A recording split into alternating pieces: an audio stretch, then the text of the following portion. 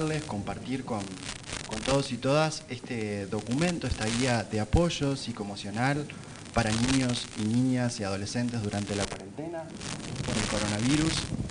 Es una iniciativa interinstitucional de la NEP, UNICEF, Plan Ceibal, en el marco de, esta situación tan especial.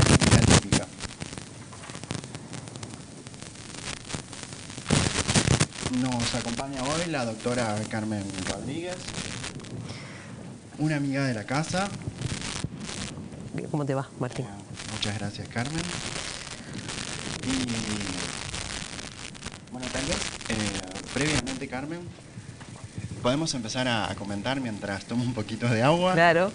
Bueno, eh, de mi parte agradecer en primer término la invitación de, de UNICEF Uruguay, del Plan Ceibal, de la NEP, a, tomar la palabra en un momento tan difícil, en un momento donde es más lo que no sabemos que lo que sabemos y aún así eh, tenemos el compromiso de disponernos a pensar colectivamente y a tratar de encontrar eh, esos apoyos psicoemocionales que seguramente todas las familias que, en las que viven niños, niñas y adolescentes se ven día a día eh, confrontados a buscar, a encontrar esos apoyos que nos permitan hacer de esta, de esta cuarentena, de este tiempo eh, de confinamiento, digámoslo así, un tiempo que, que, nos permita dar continuidad a la vida y, y saber que, bueno, que encontramos los apoyos necesarios para que para, para continuar, para continuar y para que lo que pueda continuar y lo bueno que puede continuar, continúe.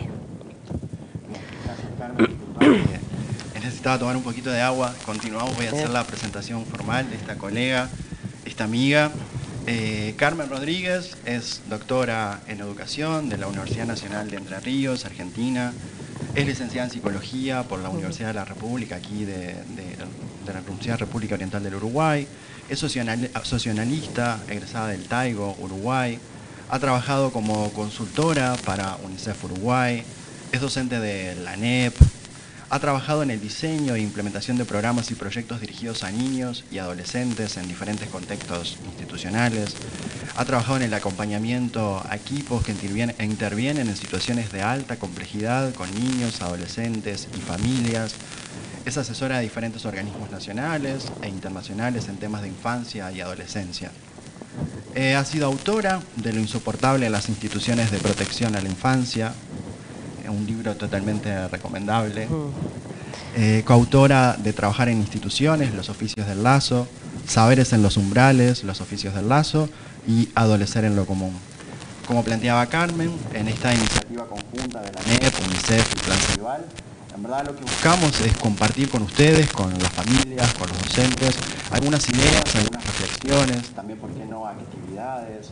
Sobre todo ponerle un poquito esto de pienso de cómo acompañar a nuestros niños, niñas, adolescentes en esta situación tan compleja de distanciamiento social, donde surgen temores, ansiedades. Eh, así que bueno, en verdad le dejo la palabra a la doctora Carmen Rodríguez a vos, Martín, por la presentación, por la invitación.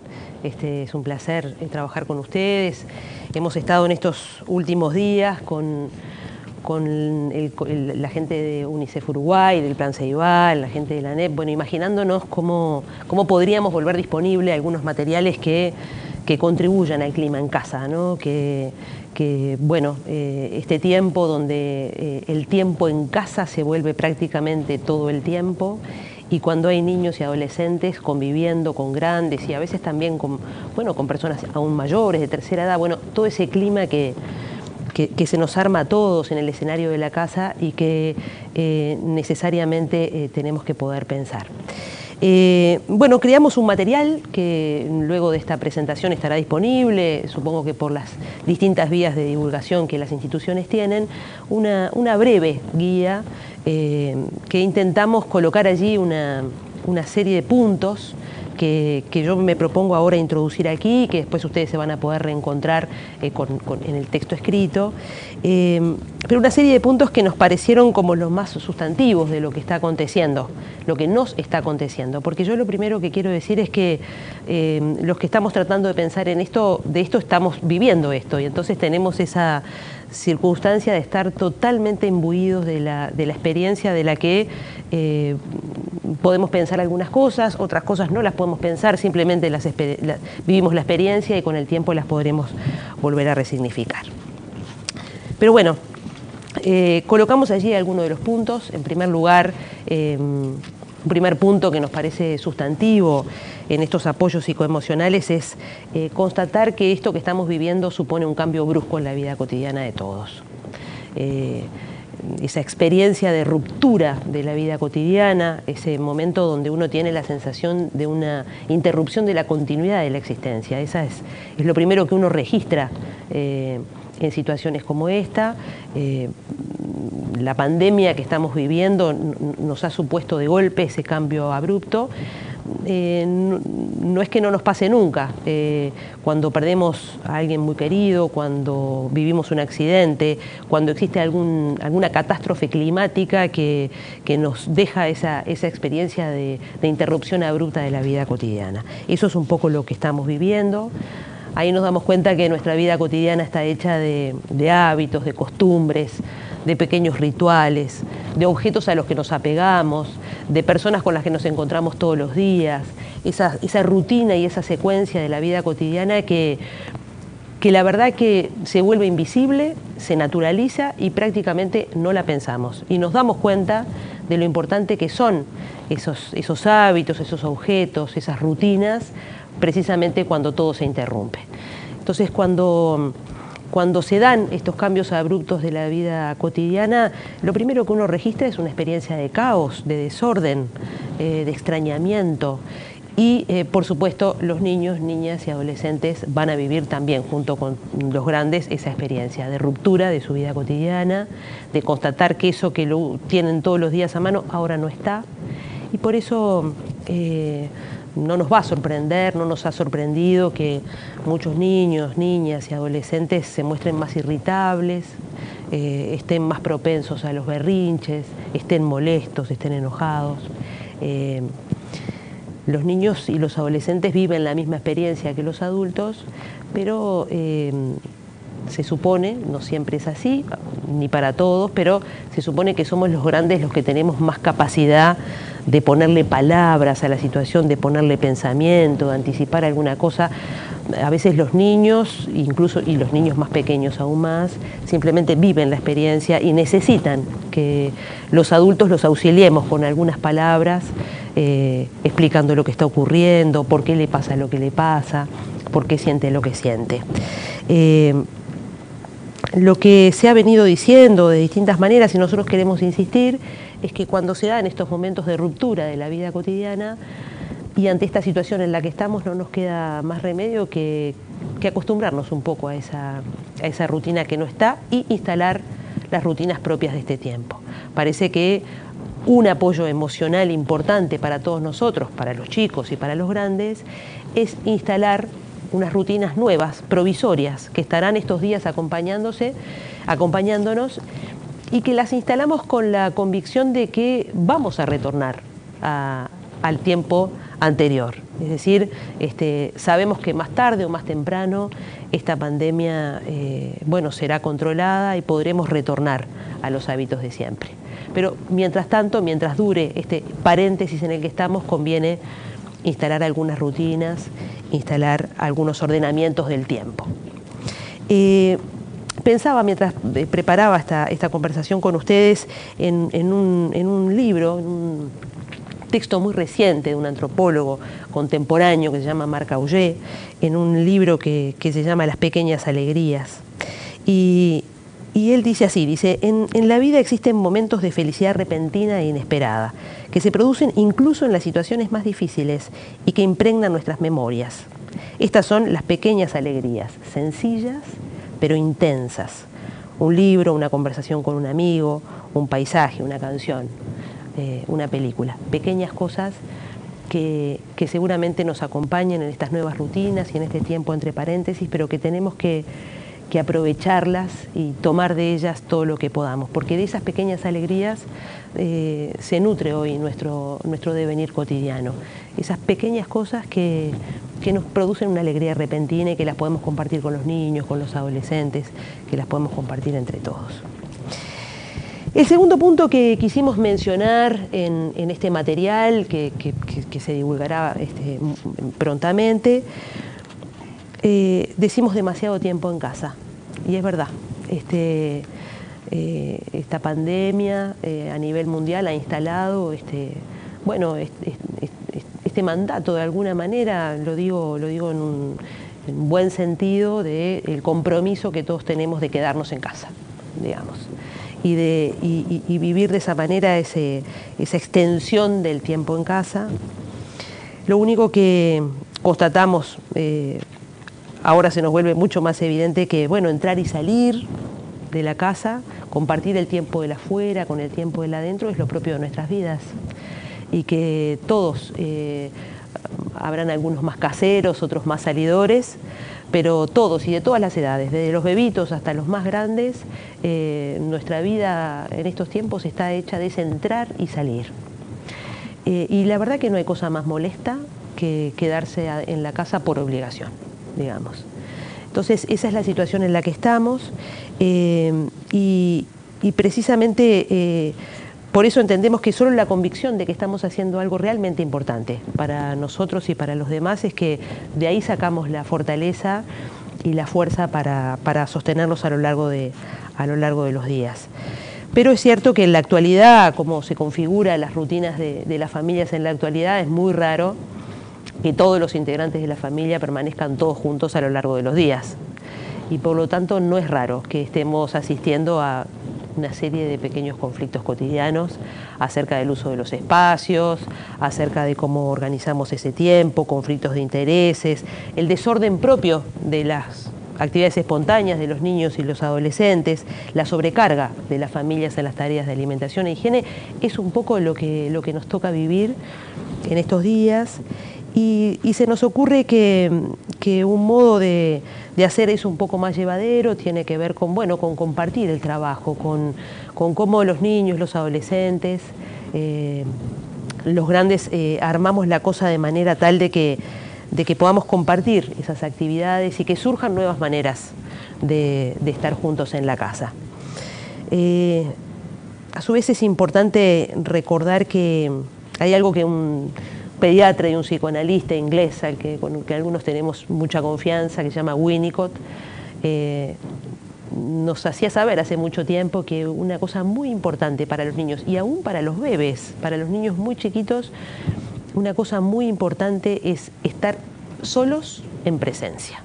Es decir, cómo estar todos en la casa y a su vez encontrar tiempos compartidos, actividades que hacemos conjuntamente, pero también poder estar solos en presencia, como un gesto humano superior, si ustedes quieren, esa posibilidad de estar con el otro, respetando ese silencio, respetando esa, esa actividad que está teniendo consigo mismo, esa actividad que, bueno, que, insisto, hasta que los bebitos desarrollan solos y cómo cómo eh, respetamos ese tiempo de soledad en presencia, porque es crucial.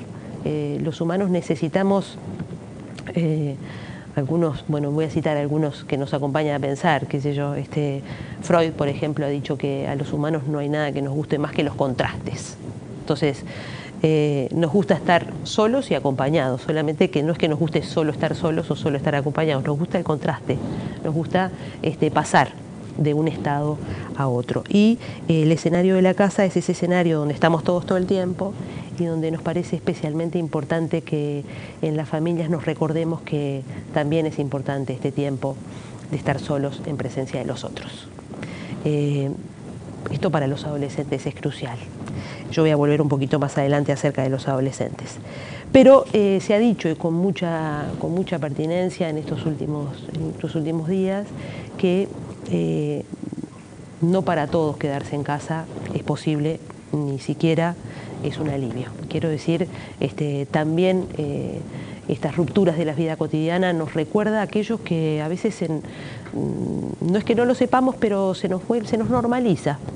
Y eh, bueno, esta, esta medida, eh, quédate en casa, nos vuelve a, poner en la lupa las injusticias sociales, ¿no? de las que, en las que vivimos en este tiempo y para, para cuántos niños y para cuántos adolescentes esa, representación de la casa como un refugio, eh, bueno, no lo están así.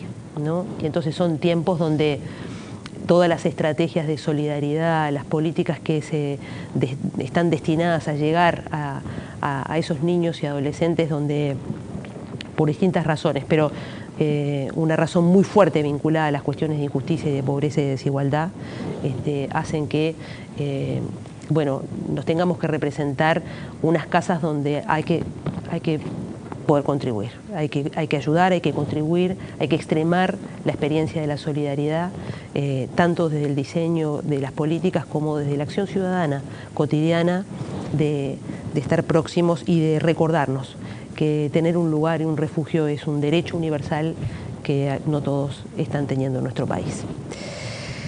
Eh, un, tercer, un tercer aspecto que, colocamos allí en, esta guía es una referencia al, bueno, al famoso teletrabajo, este, que, eh, que, no es realmente una novedad.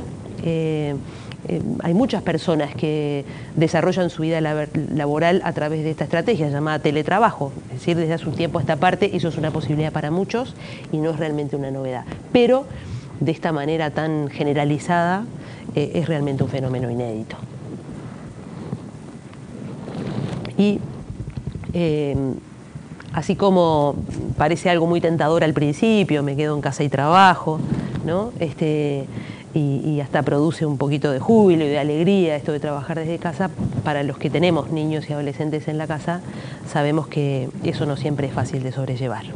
Y que eh, que eh, la experiencia que están viviendo muchas familias, que estamos viviendo muchas familias, es esa superposición del tiempo de todos que a veces genera esa experiencia agobiante de cómo, de cómo hacer compatible todos estos tiempos. Entonces el teletrabajo eh, es para muchos una estrategia que permite dar continuidad a procesos que contribuyen con la sustentabilidad de la vida familiar y por supuesto tienen, tienen esa importancia de dar sustento y de proveer las condiciones para, para, para que la familia siga adelante pero este, a su vez es una experiencia bastante agobiante.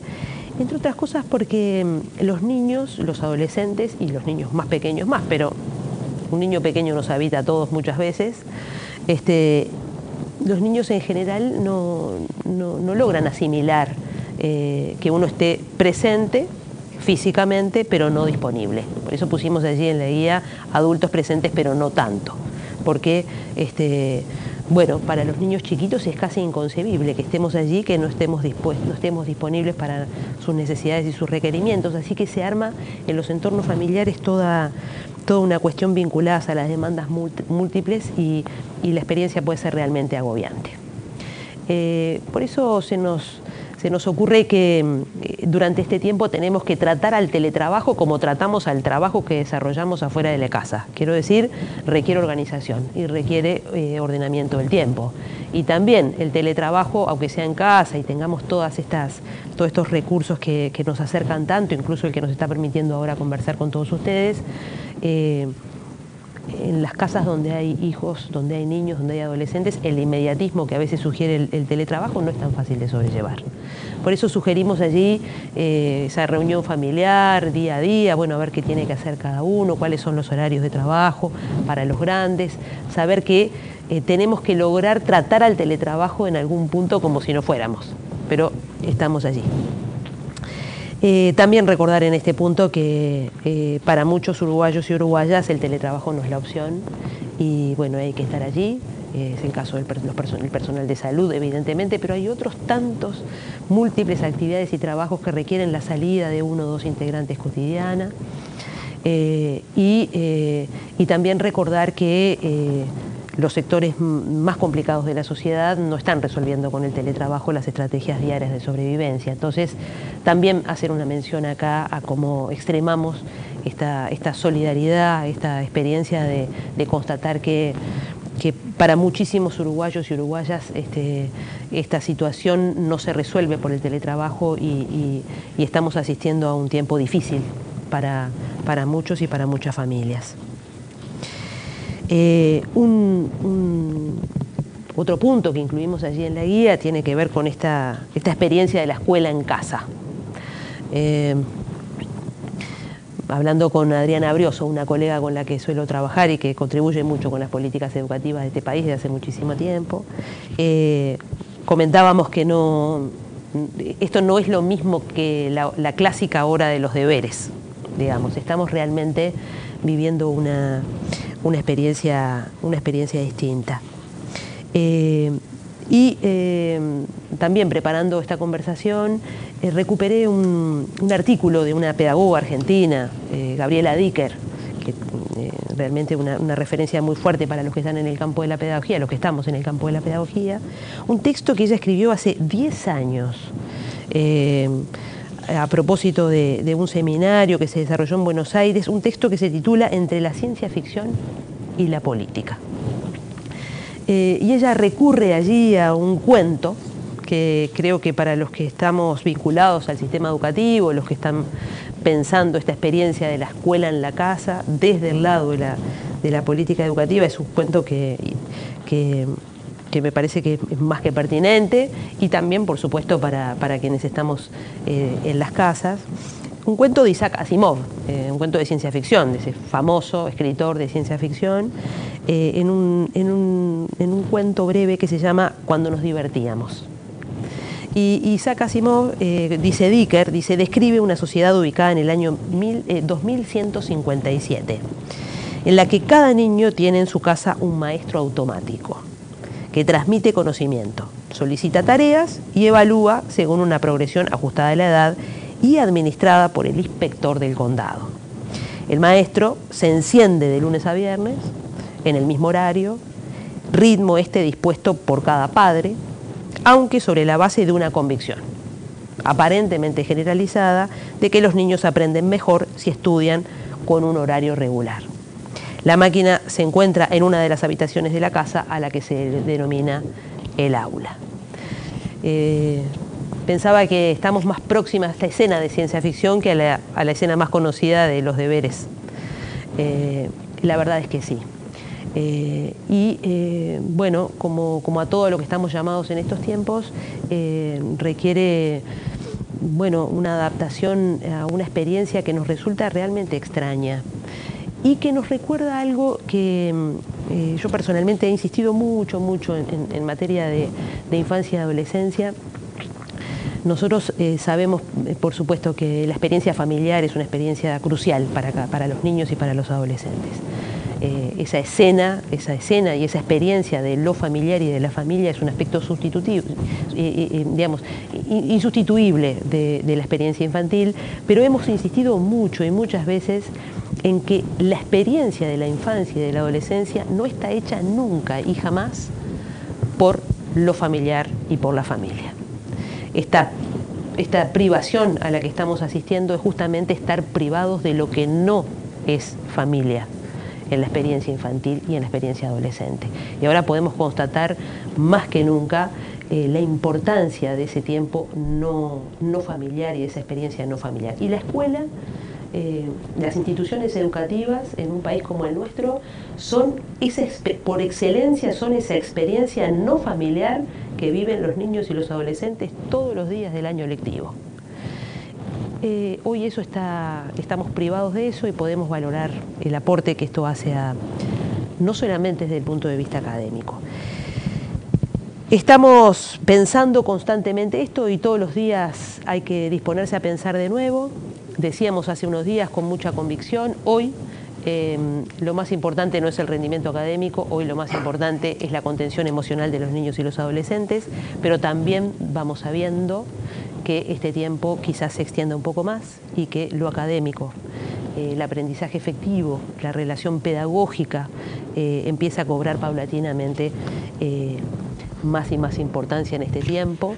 Y em, lo que lo que sugerimos allí es que, bueno, saber que eh, lo que venimos diciendo en relación a los otros puntos. Esta es una experiencia extraordinaria, es una experiencia fuera de lo común y así hay que significarla. No, no creo que estemos no creo que estemos ante una situación de una virtualización de toda la experiencia pedagógica de aquí en más. De verdad que creo que no, pero sí este, un tiempo donde la virtualidad va a, ocurrir, va a cumplir un capítulo decisivo en la experiencia pedagógica y por suerte en este país existen unos instrumentos que lo vuelven viable y posible. Eh, no poder salir de casa y quedar aislados no son la misma cosa. Esto voy a ir rápido en esto porque ya se ha mencionado por muchos lados. Creo que estamos viviendo ahora mismo esa experiencia. Eh, quisiera hacer mención a, dos puntos finales de la guía. Uno es que no hay una sola manera de hacerlo bien. Quisimos decir esto porque aunque uno escriba una guía y trate de orientar algunos puntos, la verdad que cada casa es un mundo y cada familia tiene un modo singular de llevar adelante la vida y por supuesto un modo singular de llevar adelante esta cuarentena. Eh, sabemos que las familias son ese lugar, eh, bueno, que nos da tantas alegrías, eh, que, nos hace sentir orgullosos de tantas cosas, que nos da ese sentido de pertenencia y de filiación, pero también cada familia es un, es un lugar donde se dirimen ciertos conflictos, donde se viven ciertos malestares, también una familia, una familia, cada familia, cada una de nuestras familias cargan con ciertas problemáticas, es decir, eh, la familia eh, no es un lugar para idealizar, y también saber que todos nosotros cargamos con ciertas problemáticas que configuran nuestra forma propia de ser familia. Quizás lo más recomendable para esas problemáticas que estamos transitando en este momento es darnos una tregua ¿no? y saber que, que para los más chicos, para los niños y para los adolescentes seguramente esto sea para todos, pero para ellos este, esto va a ser una experiencia memorable y los niños van a, van a, quedar marcados en la memoria por esta experiencia. Y entonces el esfuerzo de los grandes es en la medida que nos sea posible hacer de nuestra casa nuestro mejor refugio. Y, por último quisimos cerrar este material eh, haciendo referencia a ese, ese refrán que está tomado de, de la poesía, que dice, a veces en las piedras crecen flores para recordarnos que los humanos transitamos con frecuencia experiencias hostiles eh, la vida de los humanos no está hecha, nunca lo estuvo hecha de puras alegrías, por supuesto que sabemos de la penuria, sabemos de los dolores, sabemos de los tragos amargos de la vida y de los momentos difíciles, eso es vivir de verdad. Eh, y bueno, y, y sabemos que los humanos en los momentos más difíciles sacamos adelante unos recursos que ni sospechábamos que teníamos. Y también que que los humanos eh, tenemos esa capacidad de a ratos de hacer que en el horror surja lo maravilloso, así como esas piedras que crecen en las flores. Perdón, esas flores que crecen en las piedras, también lo contrario. ¿eh? Pero, pero ahora quería hacer mención a, esta idea de, esa, de esos pequeños y, grandes gestos de cuidado, de compromiso que, que nos recuerdan que, que no podemos vivir juntos sin cuidar a los demás, que estamos irremediablemente ligados y que, y que tenemos que, así como hemos visto en todos estos días, ¿no? gente que sale a cantar a las ventanas, gestos de solidaridad, eh, la urgencia por contribuir, eso es lo mejor de nosotros, cuando sabemos que salimos adelante de lo más feo, contribuyendo y paradójicamente es cuidando al otro que encontramos la mejor forma de cuidarnos a nosotros. Bueno, es un poco por ahí este, lo que hemos escrito y lo que, lo que se va a divulgar. Muchas gracias, Carmen. Eh, la verdad te cuento, tenemos, nos han estado siguiendo más de 1.600 personas. Uh, ¡Qué compromiso!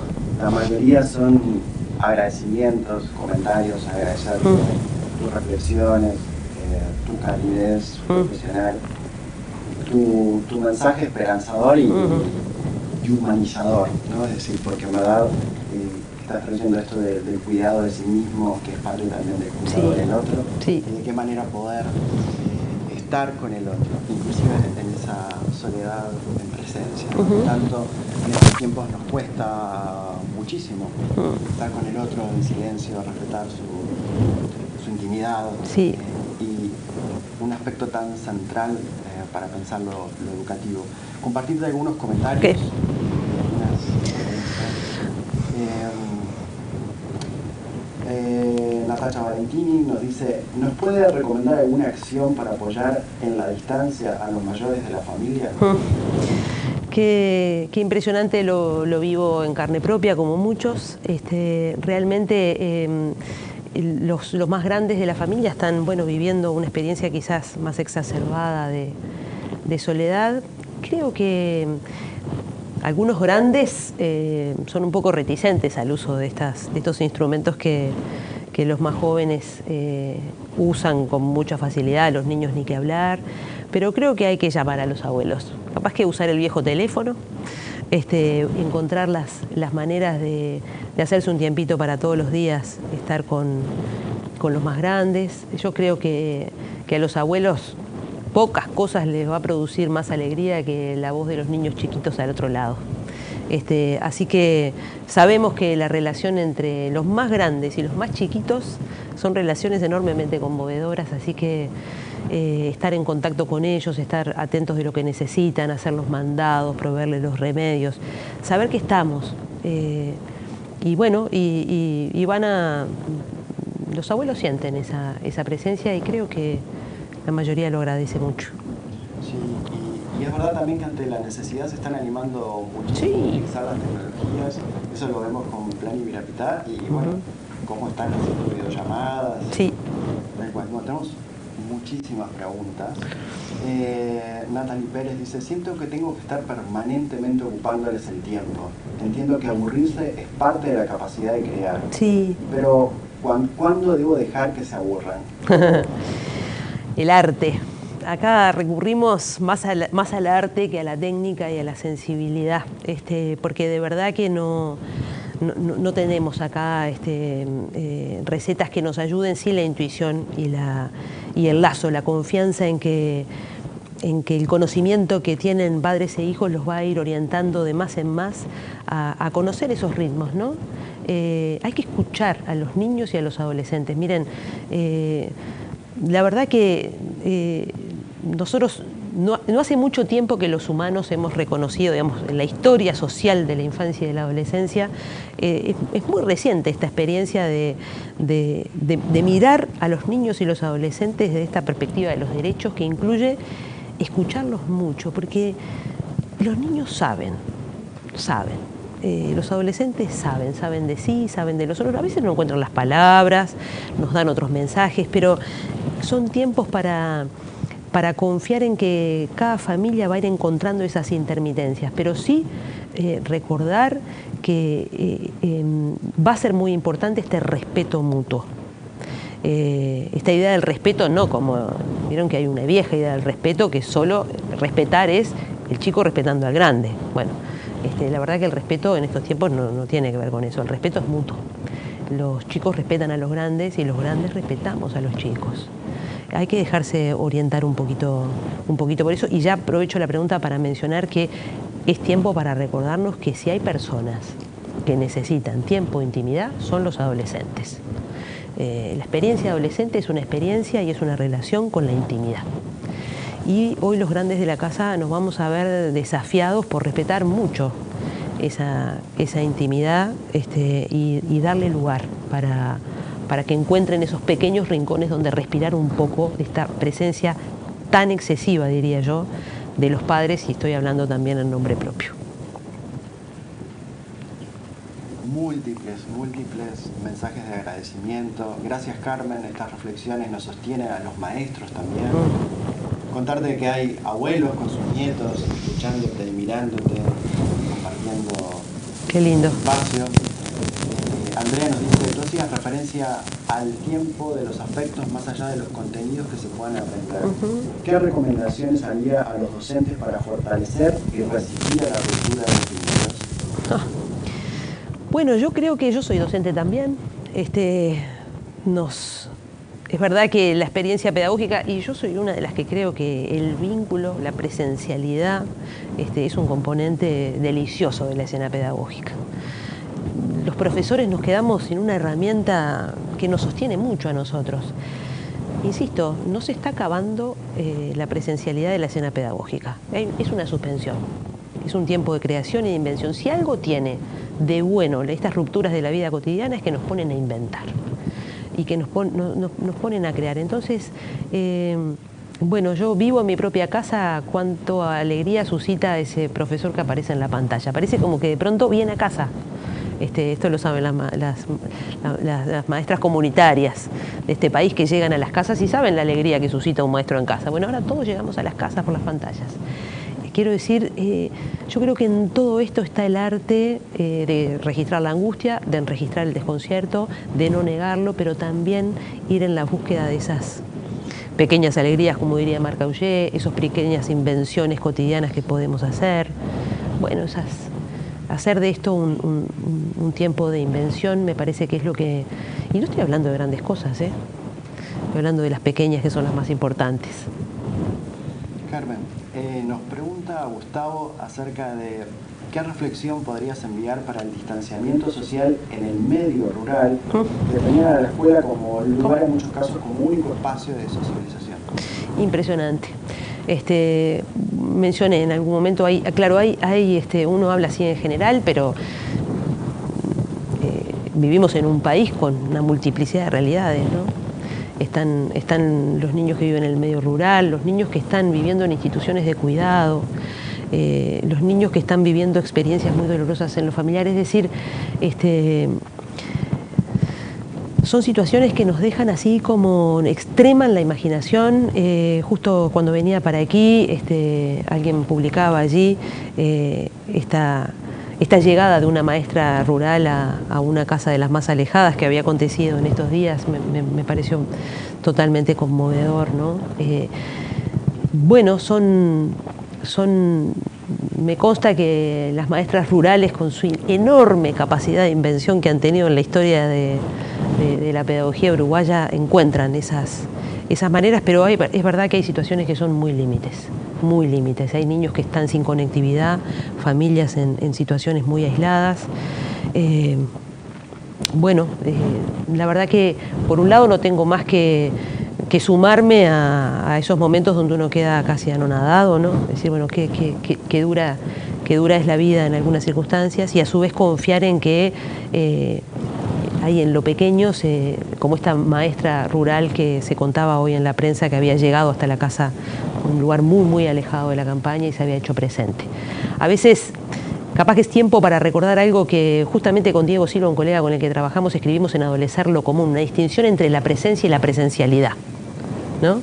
Este, hoy este, eso se nos vuelve muy importante. Miren que nosotros estamos presentes en los otros aun cuando no estamos.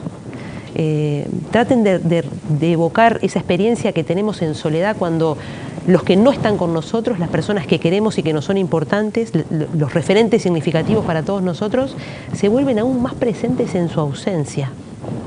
Por eso capaz que no se trata de... Son tiempos donde sabemos que estamos unos pequeños minutos en la pantalla, llegamos a la casa, pero eso que dejamos, ese gesto que dejamos, va a ser muy sostenedor en los tiempos en los que no estemos, es decir, donde estemos eh, presentes en nuestra ausencia. Bien, para ir cerrando, Carmen, eh, Camila dice, no hay una sola forma de hacer las cosas bien. Lo pone con bien, bien. tu frase. Sí. Y dice, esta frase me reconforta. Desde mi rol docente agradezco darme la seguridad de lo que hago no está mal. Muy bien, es por ahí. De nuestra parte agradecerles, tenemos muchísimos, muchísimos comentarios comentarles que el documento de esta línea de apoyo psicoemocional para niños, niñas y adolescentes durante la cuarentena. Eh, va a estar colgada el documento en los sitios web de UNICEF, la NEP y Plan Saibal. También invitarlos para mañana a las 14 horas en otra transmisión en vivo, donde tenemos, tendremos al doctor Ariel Cuadro y a la doctora Ana Laura Palombo sobre la conferencia Aprendizajes en el Hogar. Será un, algo por una charla donde compartiremos también algunas reflexiones en relación a seguir pensando esto de seguir aprendiendo en el hogar junto con otros. Carmen, gracias. De mi parte la agradecida soy yo, Martín, de verdad, eh, un placer y siempre que pueda contribuir para mí eh, es así. Cuidando a los otros, nos cuidamos a nosotros mismos. De verdad para mí es un placer. Muchísimas gracias. Gracias a todos y nos esperamos mañana a las 14 horas en la otra transmisión. Buenas tardes.